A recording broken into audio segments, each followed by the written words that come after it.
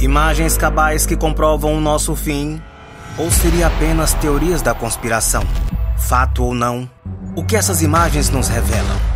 E se elas estiverem certas, será esse o fim da humanidade?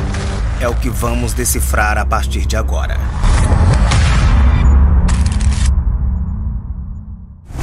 De acordo com os vídeos virais e anúncios recentes e os tabloides, cientistas parecem ter uma nova previsão 23 de setembro de 2024. Vai ser o fim de uma era, dependendo do seu gosto. A data pode marcar a colisão de um planeta interestelar com a Terra ou o alinhamento celeste que resultará no fim dos tempos. Olá, tudo bem? Bem-vindos de volta mais uma vez ao nosso canal. Você deve estar se perguntando, mas como foi que eles chegaram a essa conclusão?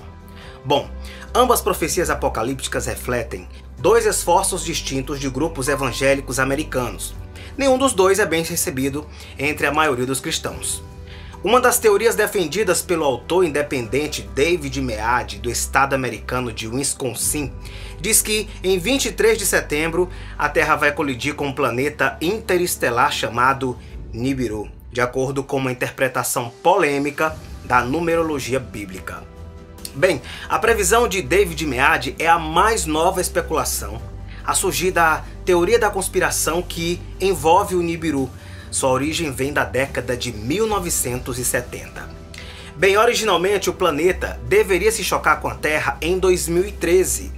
No entanto, o teimoso universo obrigou os teóricos da conspiração a remarcar a data para 2024.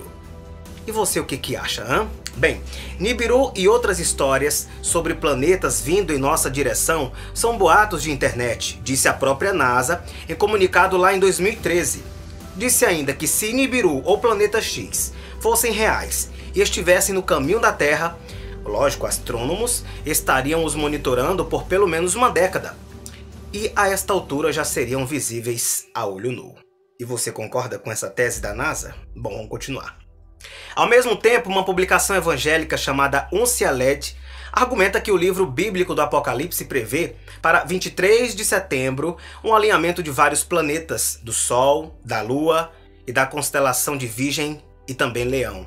O jornal diz que o alinhamento proclama a era que leva ao arrebatamento, momento em que, segundo a fé cristã, os fiéis devotos vão deixar a terra para se juntar a Jesus Cristo lá no paraíso.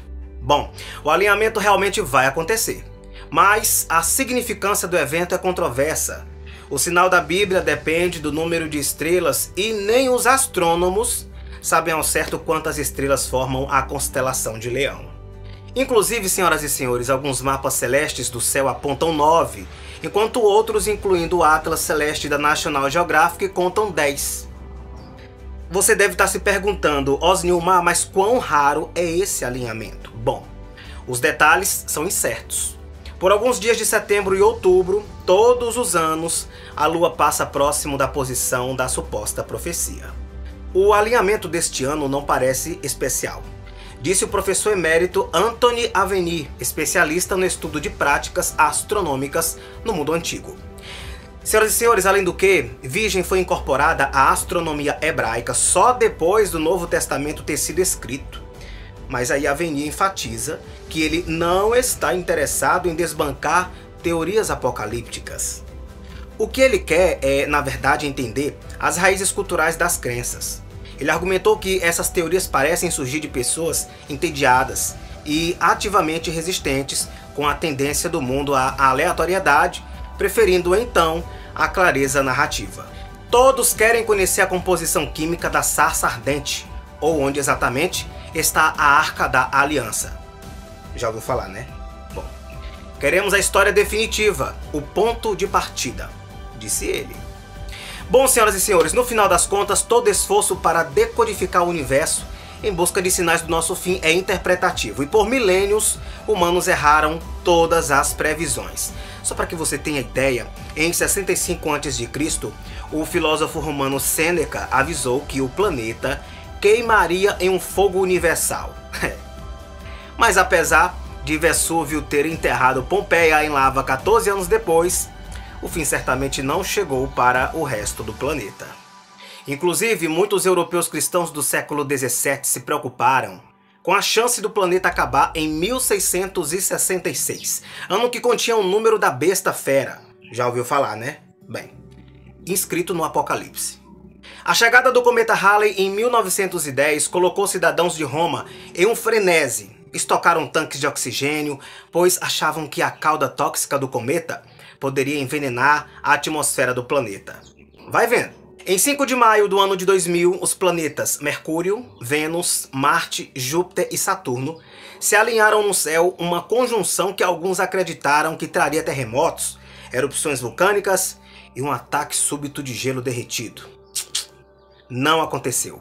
Desde 2008, o grande colisor de Hadrons entrou na cabeça de teóricos da conspiração que acreditam que o equipamento vai produzir um enorme buraco negro capaz de engolir a Terra. Bem, bilhões de colisões de partículas depois, nosso planeta continua no mesmo lugar. Muita celeuma surgiu em torno do 21 de dezembro de 2012. Diz que marcaria o fim do calendário maia, mas o alvoroço foi totalmente à toa. Estudiosos rejeitaram a ideia de que o fim do calendário significava o apocalipse. Já ouviu falar, né? Bom, resumindo, gente, Nibiru, na verdade, pode-se dizer que ainda precisamos analisar muitas coisas sobre ele. E mais que isso, talvez nunca saibamos o momento em que seremos extintos. Existem os céus, estão aí, para qualquer um interpretar. E o Apocalipse sempre foi e continuará sendo um grande mistério. Concorda? Bom, teorias à parte, você acha que já estamos na profecia do Apocalipse? Comenta aqui abaixo se desejar e faço votos para que bem provável que nos veremos novamente em 24 de setembro. Até lá, obrigado pela companhia. Grande abraço.